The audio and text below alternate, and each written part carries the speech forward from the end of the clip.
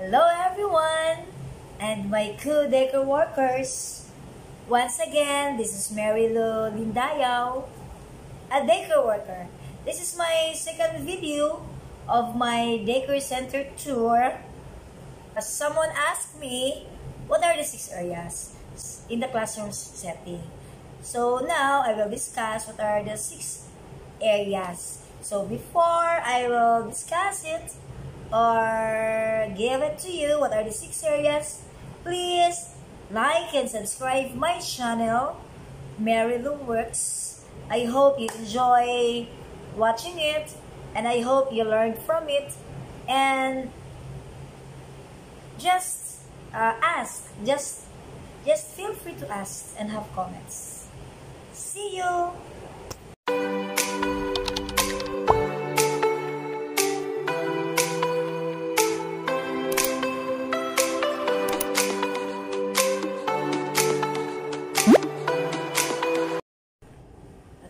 Welcome back.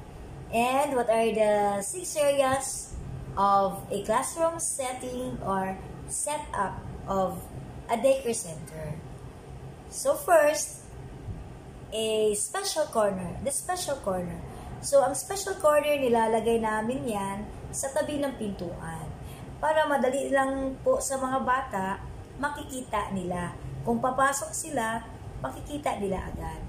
So we have in the special corner, welcome pre-kinder 1 and pre-kinder 2.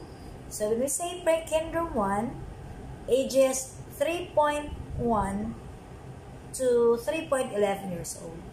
While the pre-kinder 2, 4.1 to 4.11 years old.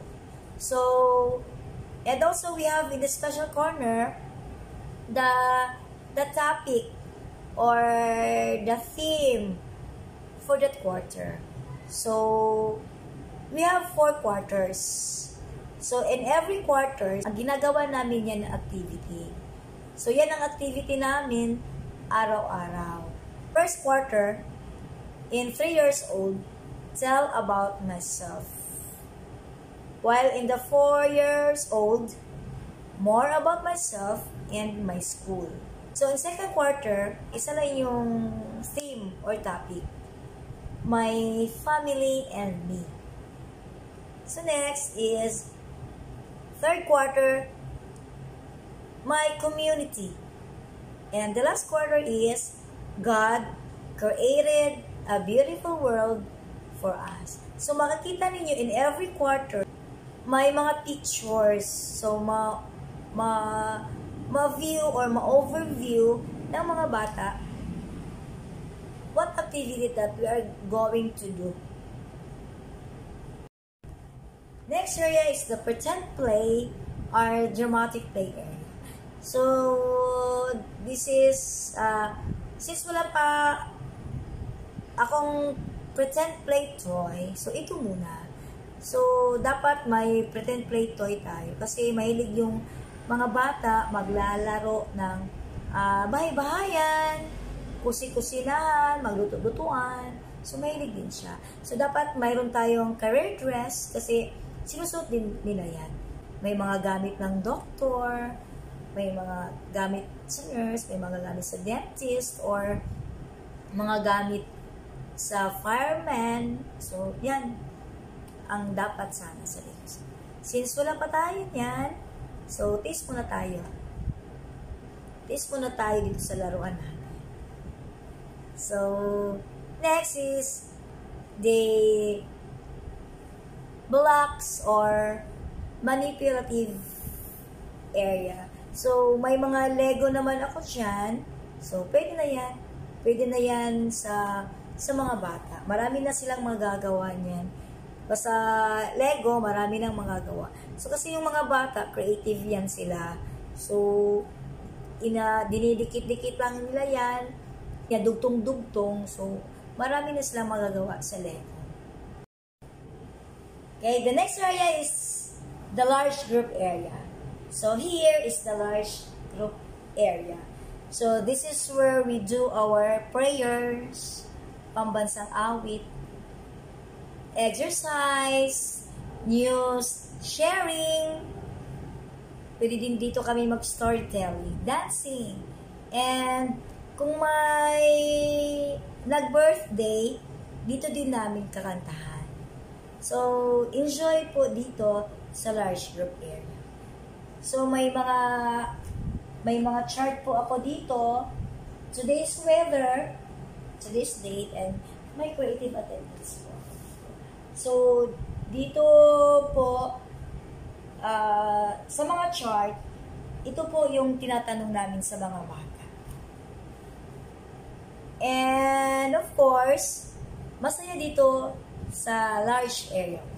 Lalo-lalo na pag yung laro ninyo sa outdoor, may ulan, pwede natin dito laro. So, this is the large group area. Okay, the next area is the art area. We have a arts and craft materials, a crayons, colored paper, bond paper, yarn, scissors, poster paint. So, may hanger din ako dyan para dyan po ilalagay yung mga mga ginagawa nila. At saka may portfolio, ikikip yung mga work nila. So, the next area is literacy or book area. So, may mga instructional materials ako dito So, dinidikit ko na lang sa wall para para makikita ng mga bata. Mahawak-hawakan din nila. So, yung mga storybooks ko, nilagay ko na sa sahig.